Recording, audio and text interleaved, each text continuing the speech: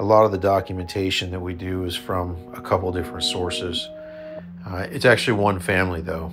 Um, I would say 85 to 90% of the pieces that I've presented have been from this family that has this land and that's dug, you know, into the ground in Tula and come up with pieces that are unexplainable. And there's other families and other people I've vetted and tried to work with to understand this, you know, from other points of view.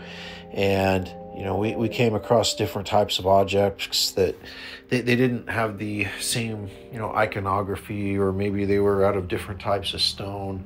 You know, it didn't look quite the same, or it didn't look quite right in terms of what we thought we knew or what we, we believed we understood. And, you know, unfortunately, with this type of work, there is no background information.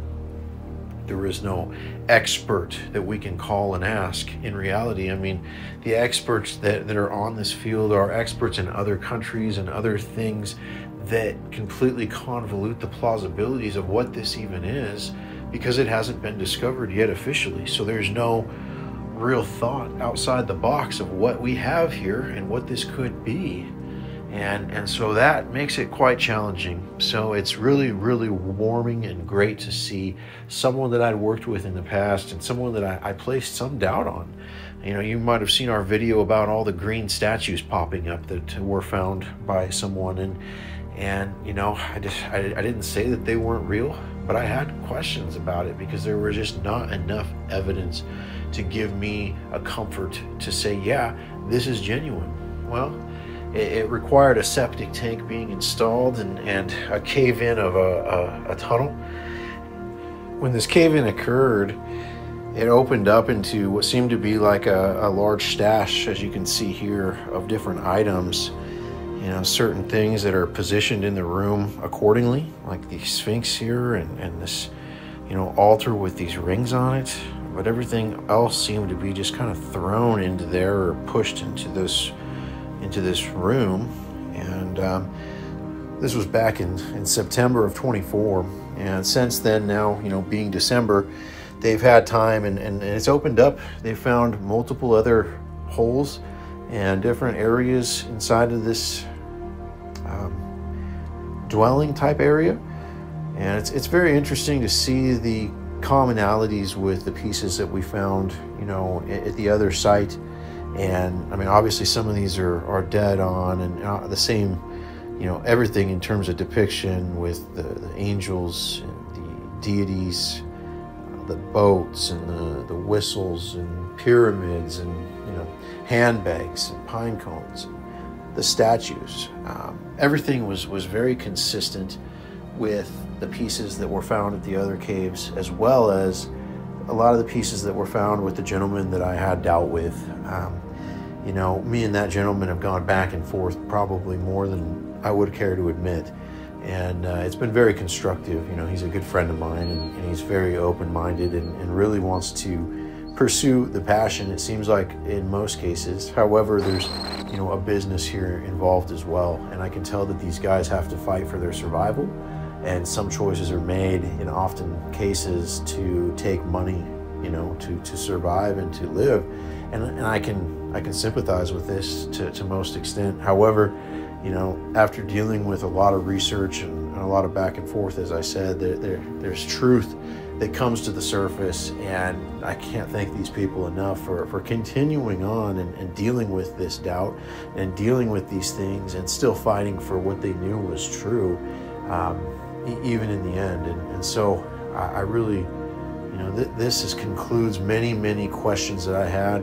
There may be other collections that I've questioned or doubted uh, some of their pieces because I didn't have the evidence to conclude that. And, and still, you know, there's a lot of pieces out there that we still question. You know, I released a video here a couple weeks ago that went into this detail, and, and still a lot of those pieces are of question. Um, so it's it's just a matter of unfolding and un, you know peeling the onion here to find uh, what what's in the middle.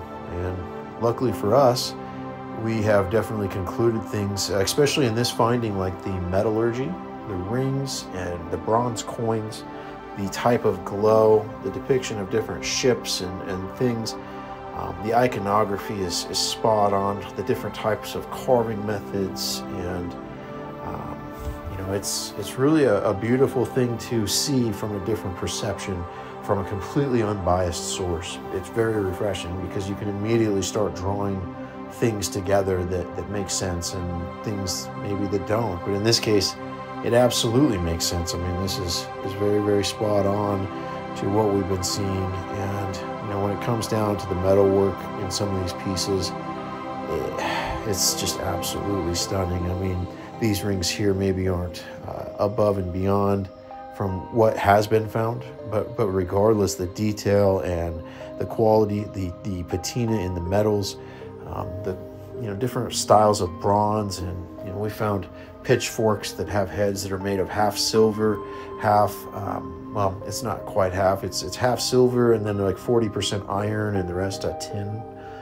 So kind of interesting to see silver tipped uh, tridents and different sorts of things. Uh, we found numerous rings and pieces made with with um, you know exotic combinations of of metals and, and gemstones. So it, it definitely it covers a lot of ground, and as both sites continue to develop and continue to unfold, I think we'll really get uh, a larger piece of the truth of what we're finding and, and what this actually is. If those tunnels do connect for you know a quarter mile underground, and this is really as large as they think it is, um, we're, we're in for a real treat over the next couple of years of what's going to be discovered and what they found. And with the significance of the pieces that have come out of the river there in Tula and um, the, the definite signs that there was there was water that came from the ocean and, and washed over this land, the direction of the way things are and, and how things are laid, like I showed you in these these dwellings. It, it just it, that coupled with the quarried stone and, and things that we found, you know, positioned above these caves, triple ground floors, and the way things are, are eroded out and, and and pushed into certain areas. Um, that's to me is, is I'm not an expert here, but if if I had to take and, and make a, a, an educated guess, that's what we're seeing the, the results of of what destroyed much of the civilization.